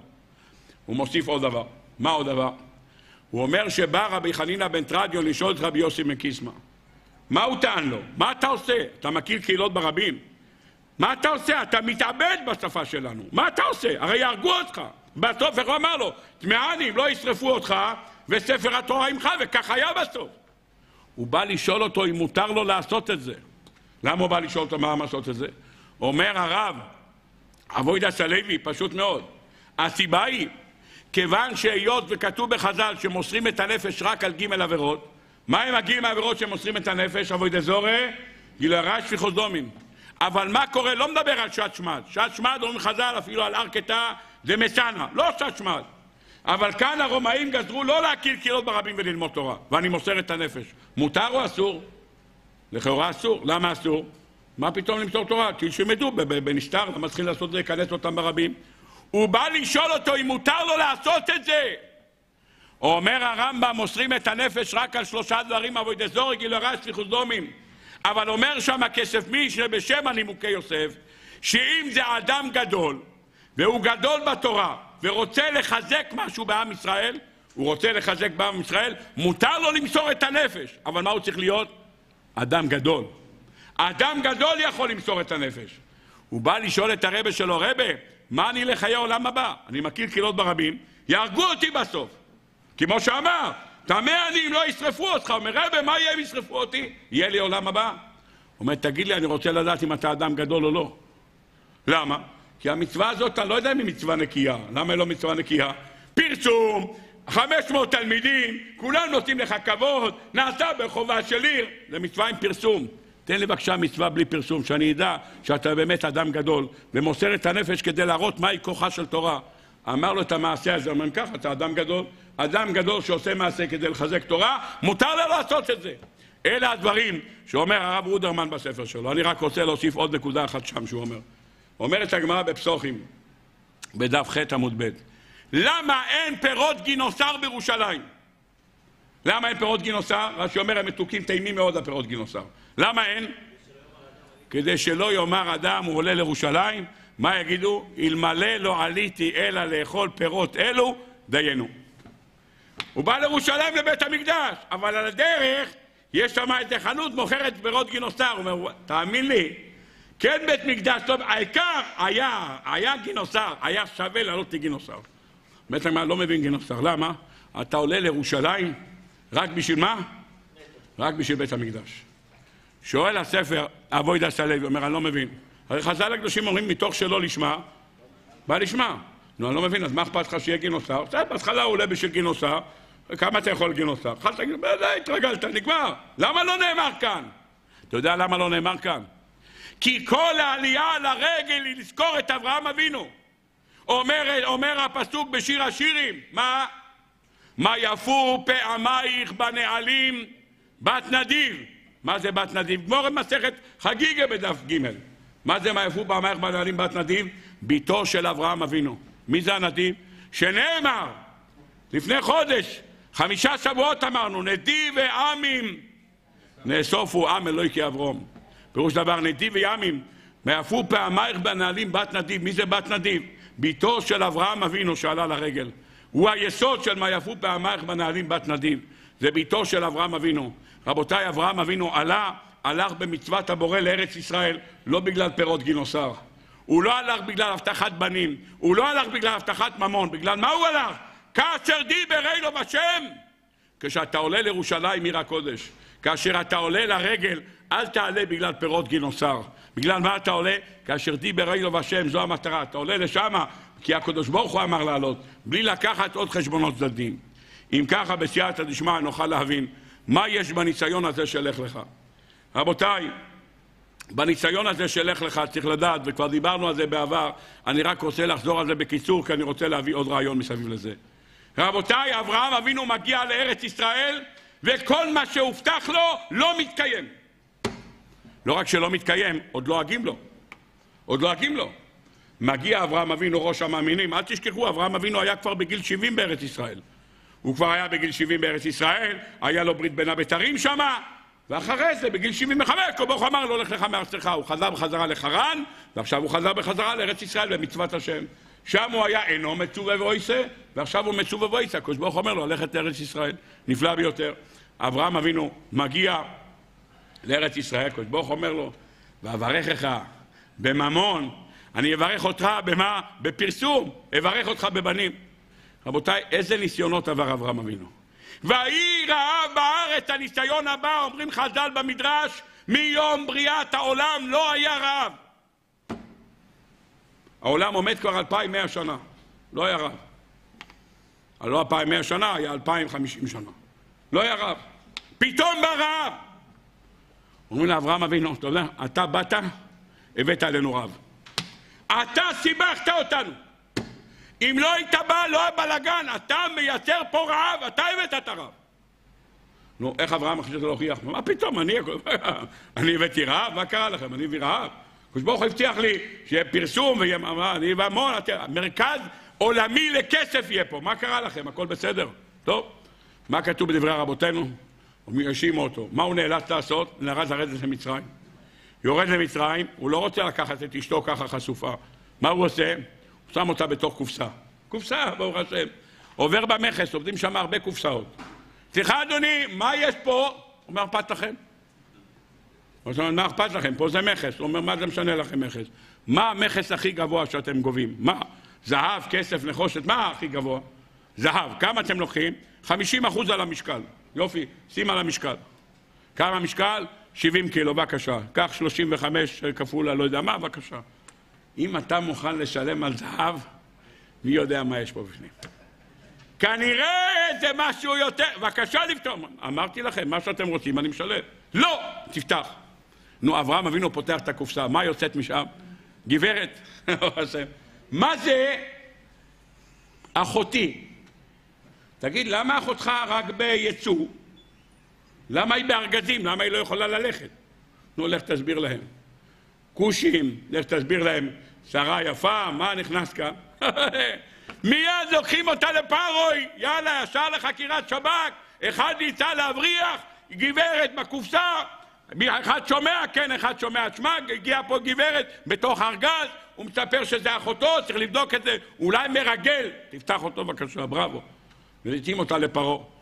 חז"ל אומרים, אברהם ולוט היו במלון ליד הארמון של פרעה, עמדו שם בתפילה, תקראו בספר היושו את התפילות שלהם. לוקחים אותה לפרעה, כמובן שהוא מקבל פרעה את העונשים שלו. למה? הוא אמר, אחותי, אחותי, יפה מאוד, הכל בסדר גמור. רבותיי, אני רוצה לשאול אתכם שאלה. עומד אברהם אבינו, ואומר, הבטחת לי פרסום, נכון? בטח פרסום. איזה פרסום? כותרת ראשית בגלובס. גלובס המצרי. כותרת ראשית מה היה? הרב של היהודים נבחר, נתפס, מבריח גברת בקופסה. אחלה פרסום, לא? הבטחת לי פרסום? כותרת ראשית, לא שמרץ על חלב אדום, זה לא שווה כותרת. מה? שיש לך מה?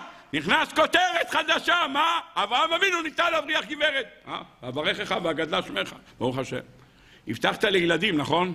איך יהיה לילדים אם פרעה לקח את אשתי? איך יהיה לילדים? איך? איך יהיה? הבטחת לילדים. כל מה שהקדוש ברוך הוא הבטיח לו, מה? הכל הפוך על הפוך. אברהם אבינו נמצא בשאלות, לא, הבטחת לי פרסום, איזה פרסום? כסף? אין כסף, יש רב. מאשימים אותי שאני עושה את הרב, אני מפיץ מחלות ראשי באזור. האשימו אותי שניסיתי להבריח אישה, עכשיו הוא אצל פרעה. בוא שם, איפה זה מסתדר עם הברכות שלך? רבותיי, אברהם אבינו מתנודד עם כל ההבטחות של הקדוש ברוך הוא ההפך ממה שהבטיח לו נהיה. אומרים לנו, אומר הספר שמן ראש, שאלת אם הניסיון הראשון הוא אור קדים, אז מה זה כבר הניסיון שלך לך? אם אתה אומר שאור קדים היה מוכן לקפוץ מקומה 40, אז מה זה לעלות במדרגות 40 קומות? כלום. הוא אומר, תדע לך שזה לא ככה. יש בן אדם שמוכן לעבוד ניסיון אחד ולגמור, אחד ולגמור. יש כזה אור החיים הקדוש. אור החיים הקדוש כותב, על בולוק, על בילום הוא כותב, תמות נפשי מות ישרים ותהיה אחריתי כמוהו. לחיות הוא רוצה לחיות כמו מה? כמו בהמה. למות, הוא רוצה למות מות קדושים. אומר אור החיים הקדוש, כמדומני שמה, אם לא הוא כותב את זה בעיר הנידחת. הוא כותב שדיברו איתו הרבה אנשים שהיו רחוקים מדרך התורה. אמרו לו, אנחנו מוכנים לחזור בתשובה, בתנאי אחד. שמה? באותו יום שאני חוזר בתשובה אני מת. מוכן לחזור בתשובה. למה? לעבור ניסיונות. אחרי שבן אדם חוזר בתשובה, אתה מגיע לעבודה עם כיפה, המקום ינחם אותך. כיפה, מה קרה? מי אבא או אימא? לא אבא, לא אימא. התחלתי להיות מאמין. מה, מה עובר עליך? מה? הכל בסדר? אתה מברך אשר יצר. עם מי אתה מדבר שם? עם מי אתה מדבר? אדם עדיף לעבור את זה, אמרו לו פעם אחת, חוזרים בתשובה מתים, לא יותר. אומר הספר שמן ראש, אין לך מושג כמה קשיים יש לבן אדם. עלייה ונפילה, עלייה לנפילה, עלייה ונפילה, כל הזמן שאתה עובר כזה מין דברים, אין לך מושג את הקושי של זה. הניסיון שלך לך מארצך, שכולם האשימו אותו שהוא הביא רעב, וכולם האשימו אותו שהוא הביא את הזה שהקדוש ברוך הוא הביא רעב כי הוא הגיע לפה, אברהם אבינו מתיינת עם ניסיונות קשים, אומר, אדרבה, ריבונו שלום, אני רוצה לקרב אותם אליך. אני רוצה לחתור כולם למענך, שכולם ידעו מי הקדוש ברוך הוא. ותראה מה קרה. אומרים חז"ל, הניסיון של לך לך הוא ניסיון הרבה יותר גבוה מניסיונות הקודמים. אם כך, אחרי שלמדנו את היסוד הגדול הזה, בואו נלך הלאה לשאלה הבאה, רבותיי. אחרי שלמדנו את היסוד הזה, אני רוצה רק לשאול שאלה אחת, והשאלה הזאת מתבקשת. יש לנו את לוט, וגם ללוט ההולך את אברהם, ויקח אברהם את שרה אשתו ואת לוט בן אחיו. הולך איתו ביחד. הולך איתו ביחד לא מצוין. לא מצוין לו שיש לו איזה, איזשהו שכר גדול. כתוב בפסוק, ויקח אברהם את שרה אשתו ואת לוט בן אחיו. למה לוט הלך איתו ביחד? אז ישנה תשובה שכולם אומרים, כתוב ואברהם בן חמש שנים ושבעים שנה, אמר תמיד טוב להיות ליד אחד זקן בלי ילדים לפני שהוא סוגר עיניים. נכון? אתה מחתים טפסים אצל הנוטריון, ואתה מיד אומר לו, אבא בוא תחתום פה שאתה מסכים שאני אנתח אותך בבית חולים, ואתה מחתים אותו על הטפסים הנכונים, נכון או לא? אומרים לך, אתה יודע למה הלך איתו? כי אברהם בן חמש ושבעים שנה. זה הפירוש שכולם יודעים. הרמב"ן כותב לא. אברהם ביקש ממנו לבוא, אומר הרמב"ן במקום. אומר הרמב"ן, תדע לך שכל מה שניצל לוט מסדום, אתה יודע למה? רש"י כותב למה הוא ניצל מסדום, כי כשהוא היה במצרים ואברהם אמר על שרה שהיא אחותו הוא שתק, הרמב"ן אומר לא. אתה יודע למה? כי לא עוד נתחסד עם הצדיק ללכת עמו לשוט בארץ. ולכן מה? וילך איתו לוט. אברהם אבינו ביקש ממנו ללכת. כתוב בפסוק, ויקח אברהם את לוט בן אחיו. רבותיי, לקחת יש רק בשני אופציות. או לגרור בן אדם לעשות עליו לסו ולגרור אותו, זה אחד. עוד פירוש אחד של ויקח, להשפיע עליו בדברים. להשפיע. כשהתורה כותבת ויקח אדוני יוסף אותו ויתנאו אל בית הסוהר, מה זה שם? שם הוא לא שכנע אותו בדברים. מה עשה לו? אז קח אותו, אזק אותו באזיקים ומשך אותו לכלא. אבל כאשר התורה כותבת בפרשת בראשיס, ויקח השם אלוקים את האדם ויניחהו בגן עדן לעובדה ולשומרה, הוא לא קרא אותו. מה אומר רש"י? איך הוא לקח אותו? מה אומר רש"י? לקחו בדברים נעים ופיתהו להיכנס. בוא, בוא תראה אדם, תראה איזה מקום יפה, תראה איזה אילנות, בוא כנס, בבקשה. יפה מאוד. כאשר התורה כותבת בחומש ויקרא בפרק ח' קח את אהרון ואת בניו, אומר רש"י, קחהו בדברים ומושכהו. כאשר התורה כותבת פרשת בעלו יצחו, פרק ח', פסוק ו', קח את הלוויים מתוך בני ישראל ותיארת אותם, מה אומר שם רש"י?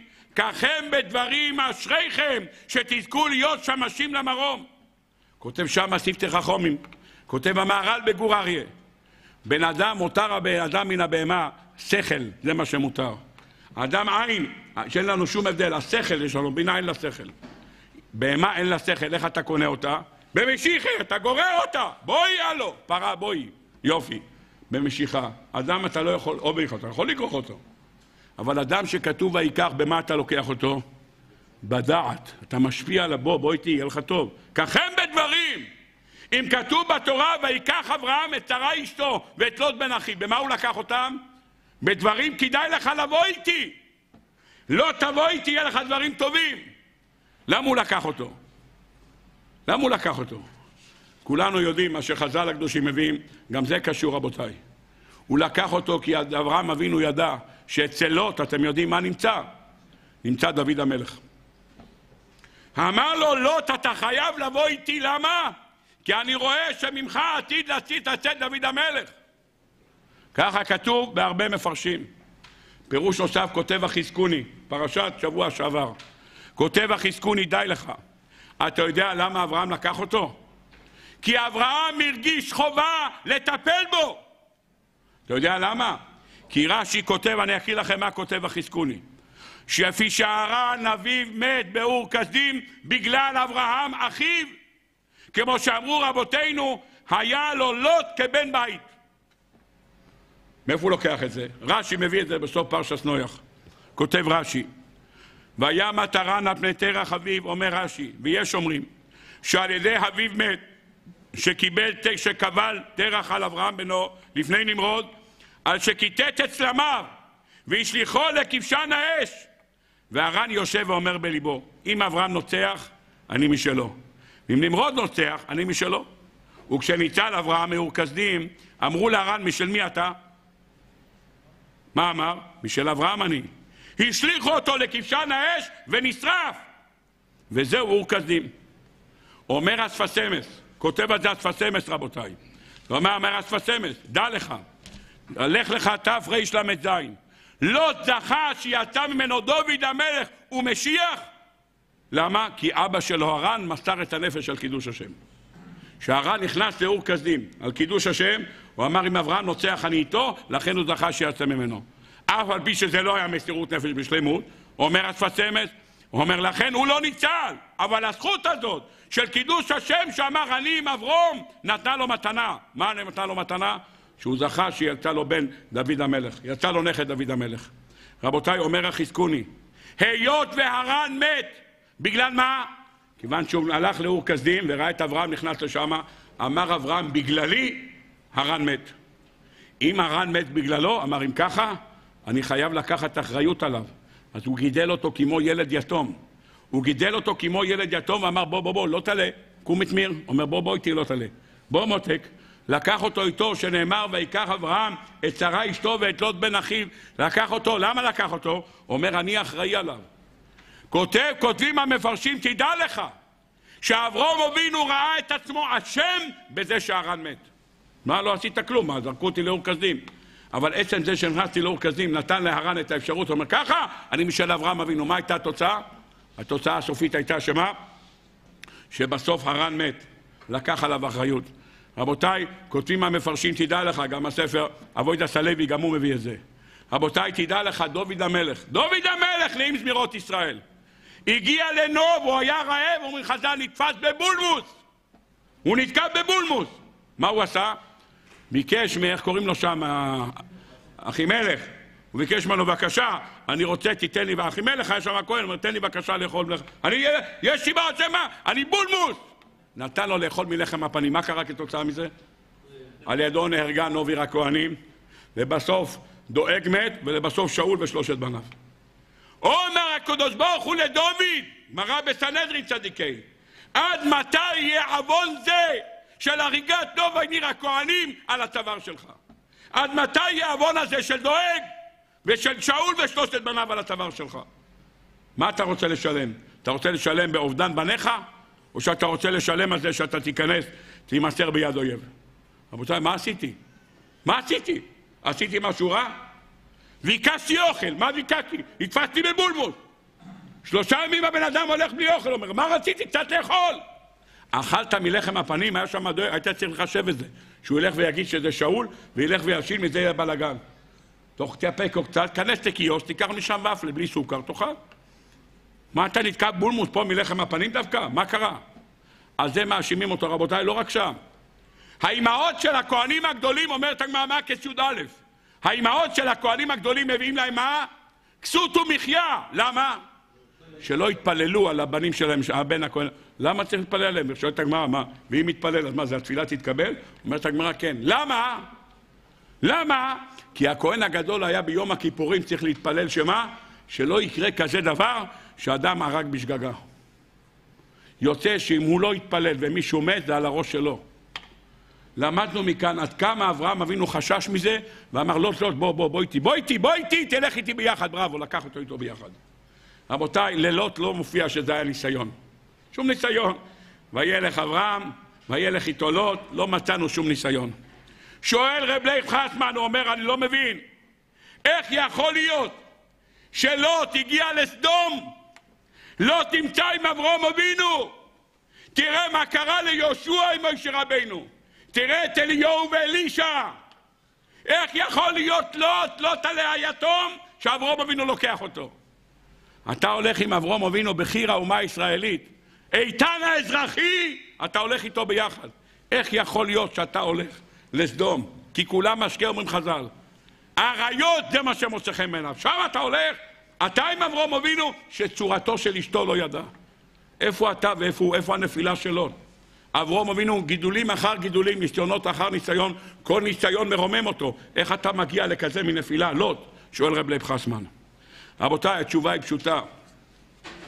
ובואו נלמד את התשובה הזאת. אמר הקדוש ברוך הוא לאברום אבינו, לך לך. כותב העל שלך קודש, מה זה לך לך? יש אפשרות ללכת עם הגוף והנפש נשארת מאחורה. יש אפשרות ללכת גם עם הגוף וגם עם הנפש. פירוש הדבר שאדם הולך ומתנתק מהעבר שלו, אין לו שום קשר מהעבר. לך לך מארצך, ממולדתך ומבית אביך אל הארץ אשר הרקע. אומרים, אומר האלשר, כותב אור החיים הקודש, כאשר אדם עוזב עם הגוף, אז קודם כל אתה עוזב את הבית, אחרי זה אתה עוזב את העיר, ואחרי זה אתה עוזב את הארץ. כאשר אדם מדובר על הנפש שלו, הדבר הכי קשה לנפש לעזוב, אתה יודע את מה? זה את הבית שלו. אומרת התורה, בוא תלך הקל הקל הקודם. אם אתה צריך להתנתק עם הנפש, דבר ראשון תעשה את הדבר הכי קל, תתנתק ממה? לך לך מארצך, תתנתק מהארץ שלך. אחרי זה תתנתק מהעיר שלך. בשלב האחרון תתנתק מהבית שלך. בנפש זה היותר קל, מה שיותר קל להתנתק מופיע ראשון. אמר הקדוש ברוך הוא, לך לך, לא רק לך, לך עם הגוף ולך עם הנפש. הקדוש ברוך הוא אומר לו, בבקשה ממך, אל תתנתק רק עם הגוף. תלך עם הגוף ותלך עם הנפש. מה, למה צריך את שתיהם? כי אם אדם חוזר בחזרה למצב הקודם שלו, זה סכנה גדולה מאוד. למה סכנה גדולה מאוד? משבר הכי קטן, והוא חוזר אחורה. רבותיי, זה ניסיון לא פשוט. בעלי תשובה, שברוך השם חוזרים בחזרה לעם ישראל, חוזרים בחזרה לאמונת השם, ממשברים הכי קטנים מחזירים אותם אחורנית. זה קשה מאוד להתנתק. אצל אברהם אבינו צריך להתנתק מההורים שלו, שאינם אינם שומרי תורה ומצוות. יהודי שחוזר בתשובה עובר ניסיונות קשים מאוד. אומר הקדוש ברוך הוא לאברהם, לך לך תתנתק מהכל, גם עם הגוף וגם עם הנפש. רבותיי, מופיע בספר שמן ראש, אני חושב בשם החתם סופר, ומפני חטאינו גלינו מארצנו ונתרחקנו ועד מתנו. שואל, לא הבנתי, אמרת, מפני חטאינו גלינו מארצנו, כבר אמרת. מה זה נתרחקנו מעל מתנו? אומר, אנחנו אומרים לקדוש ברוך הוא, ריבונו של עולם, תראה כמה עמוק הגלות, כמה הוא עמוק. מפני חטאינו גלינו מארצנו קודם כל עם הגוף. אבל נשארנו מה? נשארנו מחוברים למקום שלנו. עם מה? נשארנו מחוברים עם הנפש שלנו. עם הנפש נשארנו עדיין בארץ ישראל. איך אומר רבי יהודה הלוי, איך הוא אומר? אני, אני, ליבי, איך אני? אני במערב וליבי במזרח.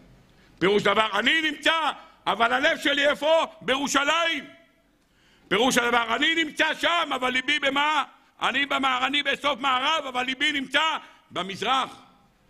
אומר לנו, מפני חטאינו גלינו מארצנו, קודם כל יצאנו עם הגוף. אבל התרחקנו עם הגוף, אבל היינו שם, אבל הראש היה בארץ ישראל. אבל תראה מה קרה. בסוף היה שגם עם הנשמה עברנו דירה. מפני חטאינו גלינו מארצנו ונתרחקנו מעל אדמתנו. בסוף התרחקנו גם, גם עם המחשבה שלנו. ולכן זה היסוד הגדול שאנחנו לומדים כאן בסייעתא דשמיא. אתה רוצה לדעת מה צריך לעשות? להתנתק גם עם הגוף וגם עם הנשמה. וילך אברום כאשר דיבר אלו בשם התנתקות מוחלטת. לוט לא עשה את זה. אתה יודע עם מה הלך לוט? רק עם הגוף. וילך אברום כאשר דיבר ראשם וילך איתו לוט. הוא לא עשה לך לך. מה הוא עשה? רק לך. עם הגוף הוא הלך. אדם שהולך עם הגוף, אבל השכל שלו כל הזמן נשאר מאחורה, אתה יודע מה התוצאה שקורית אחר כך? הוא מגיע לסדום. בנפילה הכי קטנה, הוא חוזר לגנוב, כמו שהוא גנב קודם. הוא אומר, הרועים שלו נכנסים לראות בשדות זרים, מה זה? אברהם אבינו עתיד למות ואין מי שירש אותו, אנחנו כבר יורשים אותו על חשבון. על חשבון. משם אתה מגיע לסדום כי כולם משקה, שם הוא הולך לראות. אתה יודע למה? כיוון שהוא לא התנתק עם הגוף. הוא לא התנתק עם הנפש, הוא הלך משם רק עם הגוף, אבל הראש שלו נשאר שמה. מי שנשאר עם הראש שלו שמה, למה הוא מגיע? הוא מגיע לסוף למה? הוא מגיע לאריות של סדום. זה מה שבאים חז"ל ללמד אותנו. אומר הספר שיחת אליהו, בוא ותראה. אברום אבינו הוא הראש של התורה. אומרת הגמורה בראש השונה, דף ל"א, שיט אלפי שנינה ועלמא, העולם קיים ששת אלפים שנה. אלפיים שנות תוהו, אלפיים שנות תורה, אלפיים שנות משיח. רבותיי, אין לנו הרבה. פחות מ-220 שנה עד שנגמר האלף השישי. אומרים רבותינו, אלפיים תוהו זה כנגד שני הימים הראשונים של הבריאה. מה היה שם? כלום. הארץ הייתה תוהו ובוהו וחושך על פני ביום השני, להבדיל בין מים למים, שום דבר לא היה. מתי העולם התחיל להיראות כעולם? מתי יצא העולם החוצה? אתם יודעים מתי העולם? ביום שלישי, ותראה היבשה. ביום הזה פרחו אילנות. אילנות! מה זה אילן?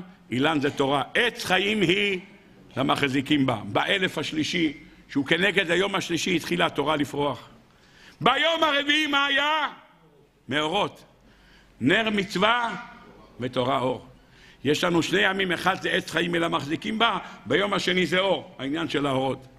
ביום החמישי, ביום השישי, כבר יש נבראים, יש דגים, יש עופות. ביום החמישי יש בהמות ובני אדם, זה אלפיים שנות משיח. אברום אבינו מתחיל אלפיים שנות תורה. אם הניסיון הראשון שלו ניסיון של לך לך, זה בא לומר לנו בתורה. אם אדם נכנס ללמוד תורה, אם אדם נכנס לישיבה, אדם נכנס לשיעור, צריך לדעת. לך לך! לך עם הגוף ולך עם הנשמה. אתה נכנס לשיעור, תתנתק מהכל. למה?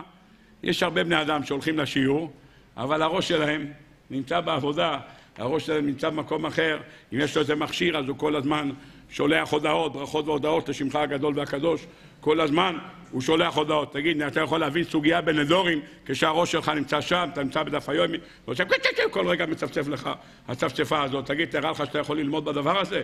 לך לך מארצך! אתה הולך ללמוד אלפיים שנות תורה, זה אברום אבינו. מה הניסיון הראשון? לך לך. אתה הולך לתורה, אלפיים שנות תורה, לך עם הגוף, לך עם הנשמה, כנס את הגמרא, אין לך שום קשר עם אף אחד. כמו שאמר אותו יהודי, כשאני עכשיו, אני, עורך אמר הרשלה, הוא אמר, תגיד, מה אם ההוא עומד? מה קרה הוא מת? מה אם זה מת? הוא אמר, מה, כולם מתו? הוא אומר, כשאני אוכל, הכל מתים. כשאני לומד, הכל מת, אין שום דבר, עכשיו אני לומד, לא להפריע לי. וזה היסוד הגדול של עבודת השם של כל אחד ואחד מאיתנו. רבותיי, התנא האלוקי אלישע בן אבויה. הלא ימד ילד, למה הוא דוימה? מה קרה לו בסוף? אתה יודע מה קרה לו בסוף? ירד מהדרך, ארבעה עלו לפרדס, אחד מהם אלישע בן אבויה. ירד למטה, כפר, כפר בעיקר, עקר צנון מהערוגה, כפר בעיקר. ומה התוצאה שניתן מזה שהוא כפר בעיקר?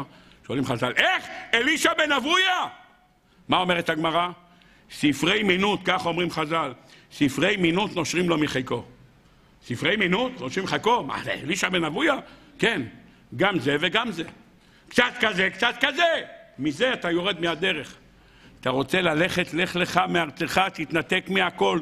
תורה, התנתקות מהכל, אתה נכנס ללמוד תורה, כול חול הקדוש ברוך הוא. לוט לא היה ככה. מה היה לוט? לוט היה ככה. הלך עם אברום אבינו, אבל ברגע של משבר, הגיע לסדום. הגיע לסדום, והשם ירחם. אלמלא זה שהוא סגר את הפה שלו, ולא אמר שהיא לא אחותו, אלא היה אומר אשתו, לא היה אברום אבינו, גם לא היה לוט. בשכר זה שהוא סגר את הפה, תראה את השכר שהוא קיבל. תראה איזה שכר הוא קיבל. אברום אבינו יוצא להפוך את סדום, ומצילים את לוט מתוך ההפיכה. מצילים את לוט ממלחמת המלכים. בזכות מה? בזכות שהוא סגר את הפה. רבותיי, בא ללמד אותנו דבר נפלא, ובזה אני רוצה לסיים. מלוט יצאו שתי בנות, רות המואביה ונעמה המונית. אבל לרות הייתה אחות. איך קראו לאחות הזאת? עורפה. עורפה. רבותיי, בואו נקרא את הפסוקים בפנים, בסייעתא דשמיא. נלמד קצת את הסיפור של רות ועורפה. עורפה ורות התחתנו עם שתי הבנים של... של מי? של אלימלך. יפה מאוד. האישה של אלימלך קראו לה נעמי. יופי. וימת אלימלך איש נעמי. אלימלך נפטר. אלימלך נפטר, נשארה נעמי אלמנה. ויישאו להם נשים מואביות כל זמן שאלימלך היה חי, הם לא העיזו. שם האחת עורפה ושם השנית רות. וישבו שם עשר שנים, וימותו גם שניהם מחלון וכליון. ותישאר האישה משני ילדיה ומאישה אלמנה, והם שכולה.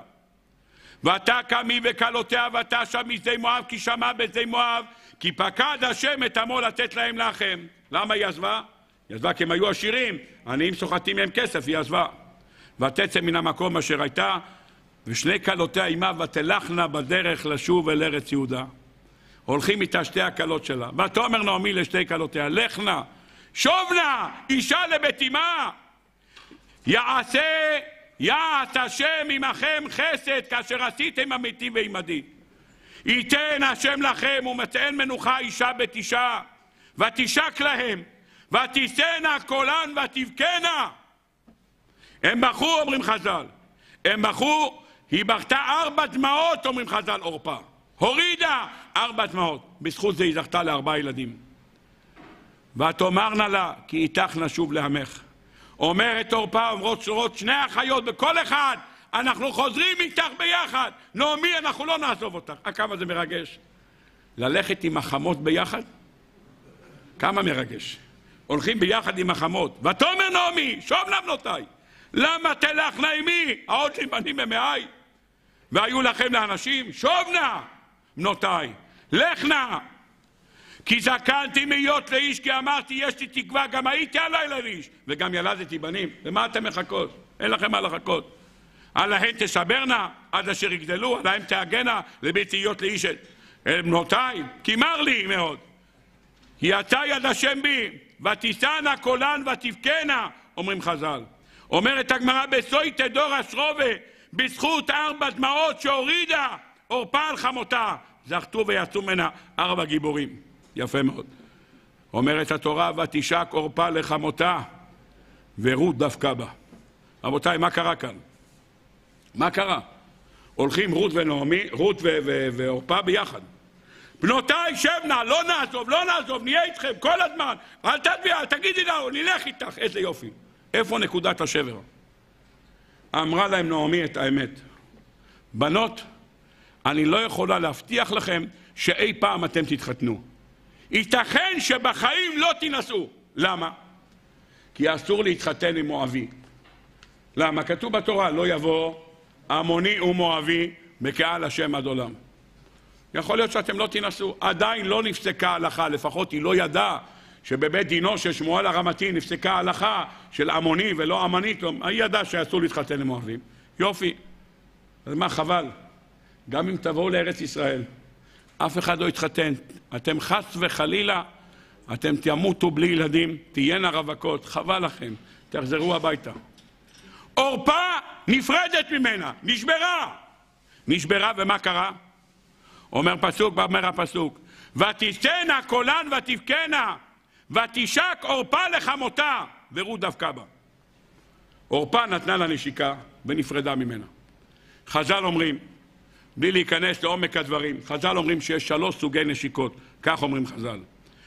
אומרים חז"ל, ברישיז רבו פרשי עין, כל נשיקה של תפלות בר מנצלת, נשיקה של גדולה, נשיקה של פרקים ונשיקה של פרישות. נשיקה של גדולה ויקח שמואל את פח השמן ויצק על ראשו וישקהו. איפה? במשיכה של שמואל. הנשיקה הבאה, משה רבינו עם אהרון הכהן. מה כתוב בפסוק? וילך ויפגשהו בהר האלוקים וישק לו. ונשיקה של פרישות ותשק עורפה לחמותה ורות דווקא בו. אומר על ידי משה למה זה של פרישות? כי הנשיקה הזאת היא נפרדה מהדת, היא נפרדה מהקדוש ברוך הוא. נשיקה שלום ולא להתראות. זה רות, זה עורפה. ורות דווקא בה. מה נקודת המשבר? נקודת המשבר שעורפה קיימה רק לך ולא לך לך. היא הלכה ביחד עם בעלה. הלכה עם בעלה, כשבעלה מת והיא שמעה שיכול להיות שהיא לא תתחתן, אמרה, היא לא רוצה את זה, אני חוזרת הביתה. אה, אמרת מקודם, מה פתאום, אני הולכת איתך ביחד. אין שום מצב, אני דבוקה בה, אין שום בעיה. אני לא עוזבת אותך, ככה היא אמרה לחמותה כל הזמן. פתאום היא שמעה שיכול להיות שהיא תישאר רווקה, היא חוזרת בחזרה. אתם יודעים מה קרה באותו לילה שהיא חזרה בחזרה? תסתכלו בגמרא מה קרה איתה באותו יום. השם ירחם מה שקרה איתה. מה נולד לה לגברת הזו שקוראים לה עורפה? אתם יודעים מה סליחה? גוליית נולד ממנה. עורפה אומרים חז"ל, למה נקרא שמה עורפה? שהפנתה עורף לחמותה. עשתה סיבוב, נשיקה אמרה לה, לכי מפה כבר, זה מספיק. ועירוב דווקא בה. רות נשארה דבוקה בה. למה? כי היא נשארה דבוקה בלך לך, גם עם הגוף וגם עם הנפש. נשארה דבוקה באמת. ורות דווקא בה. היא עשתה לך לך אמיתי, עמך עמי ואלוקייך אלוקיי. אני דבוקה בך, אני לא חוזרת הביתה. באשר תמות ימות ושם מקבר. גם אם יהיה לי ילדים, לא יהיה לי ילדים. רבותיי, ללוט יש שתי דרכים. יש לוט אחד שהלך עם אברהם. וילך אברום כאשר דיבר אלו בשם, וילך איתו לוט. הוא הלך איתו ועזב את הבית. על ההליכה הזאת הוא זכה למה? לרות המואביה. למה לא זכה לרות המואביה? כי הוא בהתחלה הוא דבק באברום אבינו. דבק באברום אבינו, אז הוא זכה לבת, כמו רות המואביה. מה רות המואביה? ורות דווקא בה! רות דווקא בה, לכן זכתה לזה. אבל בשעה שחוזרים ממצרים, חוזרים ממצרים, ולוט כבר עשיר, ולוט כבד גם כן, ולוט ללוט ההולכת אברהם, היתון ובקר ואוהלים. חז"ל, מה זה אוהלים? יש לו שתי נשמות שנמצאים בתוכו, גם רות המואביה וגם נעמה המונית. ברגע אחד, מה קרה כשהוא נפרד מאברהם אבינו? אומר לאברהם, אתה מתחיל לגנוב, בבקשה תלך מפה! עם השמאל והימינה, עם הימין והשמאלה, תסתלק לי מפה! הוא הולך לגור, איפה הוא הולך לגור? בסדום. למה סדום? כי בחיים לוט לא הלך עם אברהם אבינו ביחד בלך לך. וילך איתו לוט. הוא הלך לא בלך לך. לך לך כותב אלשיך גוף ונפש. הוא לא הלך בגוף ונפש. וילך הוא הלך רק עם הגוף. אז ההליכה שהיה צמוד לאברהם בהתחלה בוילך, הביאה לו את רוף דווקא בה. אבל לאחר שהוא נפרד מאברום אבינו והלך לגור בסדום, מה יצא לו? יצא לו משם העורפה שהביאה את גוליית. גוליית, אומרים חז"ל בסויטה מ"ב, ספר שמואל, עומד ומחרב מערכות השם צבקות. מה הגובה של אדון גוליית, אתם יודעים? כמה הגובה שלו? שעה? שש, שש וזרת. חז"ל, שש וזרת, כנגד זה נתן בועז לרות, מה נתן לה? שש שעורים. כנגד השש והזרת נתן לה שש. אומרים חז"ל, הוא עומד מחרף ומגדף, שאול לא יודע מה לעשות, חז"ל אומרים, ארבעים יום הוא חירף וגידף. כנגד מה? כנגד 40 פסיעות שפסתה עורפה ביחד עם נעמי בדרך לארץ ישראל. 40 פסיעות. על 40 פסיעות האלה עומד הנכד שלה, גוליית, גוליית הבן של, של עורפה, מחרף ומגדף מאחות השם צבקות. מי ניצב מולו? מגיע דוד המלך, הבן של דוב קובו, ונעמי, אומרים חז"ל, רות דווקא בה. מגיע דוד המלך שהוא דבוק בקדוש ברוך הוא, רגל רביעי במרכבה, ומה עושה? הורג את גוליית. אומרים חז"ל בגמרא במסכת סוטה. אומרים חז"ל, אומרים חז"ל, נקרא את הפסוק בפנים. עומר רבי יצחוק, באיזה כוח הצליח דוד המלך להרוג את גוליית? אתה יודע למה? אומר הקדוש ברוך הוא יבואו בני הנשוקה ויפלו ביד בני הדבוקה. בני הנשוקה זאת עורפה שנשקה לחמותה. הפנתה לעורף, נתן לה נשיקה, אומר זהו, לא רוצה לראות אותך יותר. ותיתנו כולם יבואו בני הדבוקה, יבוא מי? יבוא רות המואביה שדבקה בחמותה. דבקה בחמותה יצא מנהרה דוד המלך. ולמה נקרא שמה רות? שואלים חז"ל. שילדה בן שריבהו לקדוש ברוך הוא בשירוס ותשבוכוס. זה דוד המלך. זה היסוד הגדול של דוד המלך. אז מה זכתה רות? זכתה לראות את דוד המלך. זכתה לראות את הכיסא של שלמה המלך. זכתה למה? ורות דווקא בה. היא קיימה לך לך. הוא קיים רק לך. יצא מזה עורפה. אדם רוצה לדעת איך הוא גודל, יש רק דרך אחת. אם אתה גודל ביחד, על ידי מה? אתה גודל בלך לך, אתה מתנתק מהכל, אתה הולך לקדוש ברוך הוא ונדבק אליו. זה היסוד הגדול שיש לנו כאן. רבותיי, מבלי להיכנס, עומקים, פנים מעומקים יש לנו סביב העניין הזה, אבל אין לנו את הזמן להיכנס בנושא. אני רק רוצה לומר, מי שמקיים מצווה של לך לכו, מי שהולך ומקיים את המצווה לא כדי שיצא לו בנים, לא כדי שיצא לו פרסום. למה הוא עושה את זה? הוא עושה את זה כי עשה את זה אברום כאשר דיבר אלו בשם, בלי שום מטרה. אדם שעושה כאשר דיבר אלו בשם, עומד בניסיון הזה. מה הוא זוכה? לדבקות מוחלטת בקדוש ברוך הוא. זה הניסיון הגדול שלך לך.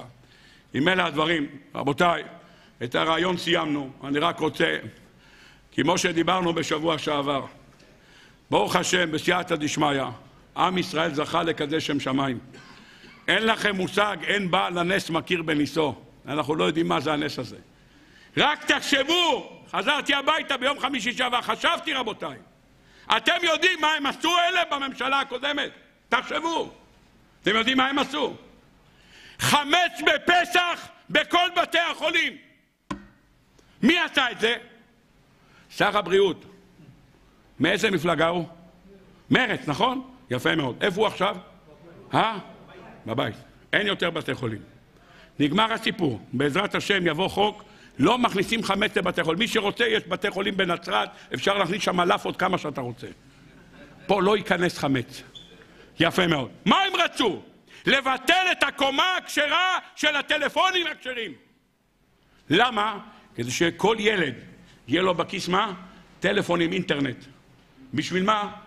אם יהיה לו שאלה, גמור בו מציע, על המקום יאכל. זה מה שהם רוצים. לחלן אותנו, להפוך אותנו לחילונים, זה מה שהם רוצים. רבותיי, אתם חושבים שחד פעמי זה הנושא? כולם אומרים חד פעמי. ברוך השם ששר האוצר היה חד פעמי. ברוך השם. זהו, חד פעמי היה לנו שר האוצר. לא יהיה יותר, נגמר, תשכחו מהדבר הזה. הוא הולך לאיפה שהוא הולך, נגמר הסיפור. הגברת הזאת שרצתה לעשות מה? תחבורה ציבורית בשבת. היא יכולה לקנות בימבה. ברוך השם, ללכת הביתה. כל זה נגמר. רק תחשבו מה היה אמור להיות. הלכנו להצביע בלי שום כוונת רווח. הלכנו להצביע בשביל מה? השם הוא האלוקים! בשביל מטרה אחת, בשבילך הקדוש ברוך הוא. בשבילך עשינו את זה. לא יכלנו לשאת את זה. שרוצים לעקור שבת וכשרות ויהדות וטהרה ומקוואות ומה שאתם רוצים. בעוד חודשיים המורה ייכנס רפורמה של מה? אין יותר כשרויות. כשרויות זה חברת, אה, אה, חברת אה, צ'יק צ'אק בכשרות משהו. הכל בסדר, אין יותר משגיחים. יבוא ככה, הכל... זה מה שעושה עוד חודשיים. איפה הוא שר הדתות? איפה הוא? מה הוא הולך לעשות עכשיו? יש לכם עבודה, אתם יכולים לסדר לו משהו. רבותיי, כל זה נגמר. הקדוש ברוך הוא ראה בעוניינו. הקדוש ברוך הוא ראה כמה צער שלנו גדול. מה עשו הבחירות האלה, אתם יודעים? עם ישראל הוכיח שהם רוצים מדינה יהודית ולא מדינה חופשית. זה מה שהם הוכיחו. הם רוצים שיהיה כאן יהדות ותהיה כאן שבת ותהיה כאן טהרה ותהיה כאן קדושה ותהיה כאן שבת ותהיה כאן פסח כמו שצריך. וכל יהודי דתי שירצה לשמור מצוות, אתה לא תיכנס לו לטלפון. אנחנו רוצים לקיים מצוות, רוצים מדינה יהודית. רבותיי, כמה הצביעו בעד מדינה יהודית? יודעים כמה הצביעו? לא ספרתי. שלוש מיליון. כמה הצביעו? כל הימין, כמה הצביעו ביחד? זה שלוש מיליון אנשים. כמה הצביעו? תוריד את הערבים! תוריד את אלה שנשארו, מה נשאר לך? כלום! הם רוצים עם חופשי בארצנו. זה מה שהם רוצים. אין עם חופשי, זה מדינה יהודית. מדינה יהודית! יש לנו כאן מדינה של יהודים. וזה הקדוש ברוך הוא ראה כמה כואב לנו. לא הלכו להצביע בגלל נציג זה, בגלל נציג אחר. הלכו להגיע, ריבונו של עולם, אין לנו כוח יותר, אין לנו כוח. ככה רודפים אותנו, על מה? כי אנחנו מקיימים את המצוות שלך. הלכנו כדי לקיים את המצווה הזאת, ללכת לשים את הפתק כדי לקדש שם שמיים.